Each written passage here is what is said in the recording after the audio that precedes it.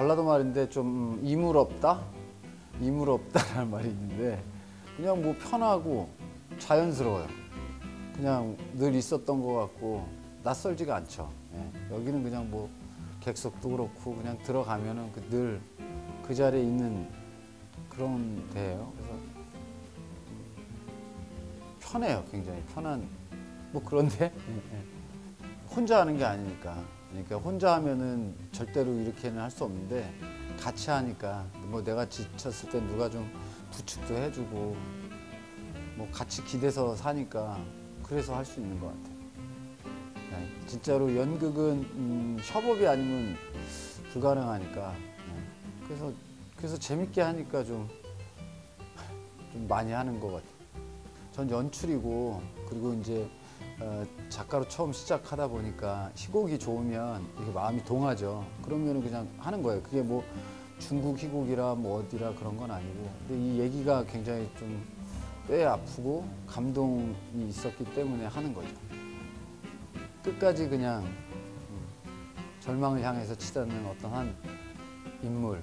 근데 그게 이제 어 1930년대 인물이지만 예, 그 당시에 인력 거꾼을 묘사했지만 어, 이 시대의 어떤 동시대성으로 봐도 충분히 그 그럴 법하다라고 하는 가능성이 있는 인물이기 때문에 어, 지금 이 시대로 2019년으로 가지고 와도 좋겠다 이런 생각을 하게 된 거죠. 연출로서는 이 이야기를 잘 끌고만 가면 어, 관객들이 충분히 감동을 느끼시지 않을까 이렇게 생각해요. 그리고 무엇보다 이제 원작이 그 라오서 선생의 그 소설이거든요. 그 소설이 좋아요. 예, 그래서 그 소설의 힘만 어, 무대에서 좀 잘 구현해서 표현만 되면 관객분들이 좋아하실 것 같아요. 네가 그러면 난 갈팡질팡 할 거야 라고 얘기하는 그, 그 대사 좋아하고요. 그리고 어, 인생은 욕창 같은 거라네 그 대사 좋아하고 어, 그 다음에 어, 죽고 나면 흙한 줌이야 그게 다야 어. 그 다음에 어, 살고 죽는 것이 특별한 게 없구나 이 대사. 예, 그 대사 좋아하고 그렇죠. 예, 그리고 맨 마지막 대사 중에 나오는 거 어, 낙타도 그것쯤은 알아. 어, 음, 죽음만이 진짜야. 뭐 이런 대사 있죠. 아, 굉장히 처절하네 이거. 어, 행보라니까 너무 거창하고. 그래서 저는 늘 어, 작품을 할 때 그냥 마음이 가는 대로 그리고 인연이 닿는 대로 이렇게 계속 해왔어요. 오페라 준비하고 있는 게 있는데 그거 올릴 것 같아요. 네. 그다음에 뭐 창극도 있고. 연극 좋잖아요. 연극 좋죠.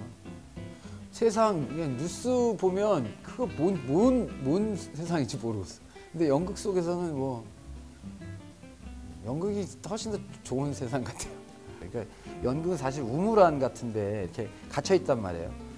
그러면 이제 우물 안에 있으니까 저 사람들 참 깝깝하고 답답하고 꽉 막혔겠구나라고 생각을 하는데 우물 안에 있어서 바깥의 별을 보잖아요. 그 우물 안에서 볼 수 있는 그 테두리만큼의 별만 보잖아요. 근데 그게 무한한 상상을 하게 하거든요.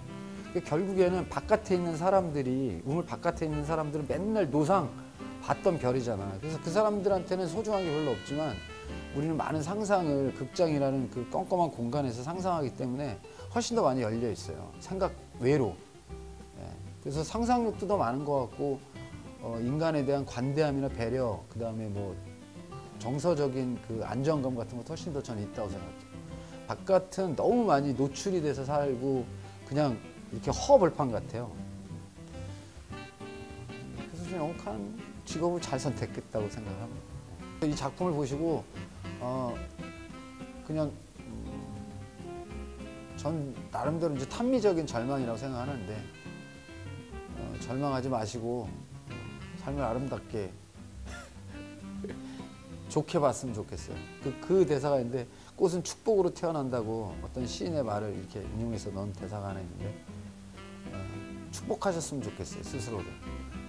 아무리 힘들어도 그러셨으면 좋겠습니다.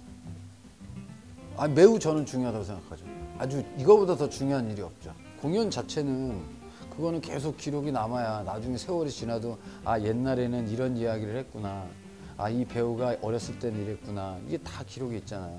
다 소멸해 버리는데 그러니까 연극이 사라 그냥 사라지는 예술이다 그게 가치가 있다라고 하는 말에 이 뭐야 그거는 잘못된 시대가 왔잖아요. 예, 그러니까 저는 기록을 했으면 좋겠고 대신에 기록도 또 정말 잘해 주셨으면 좋겠어요.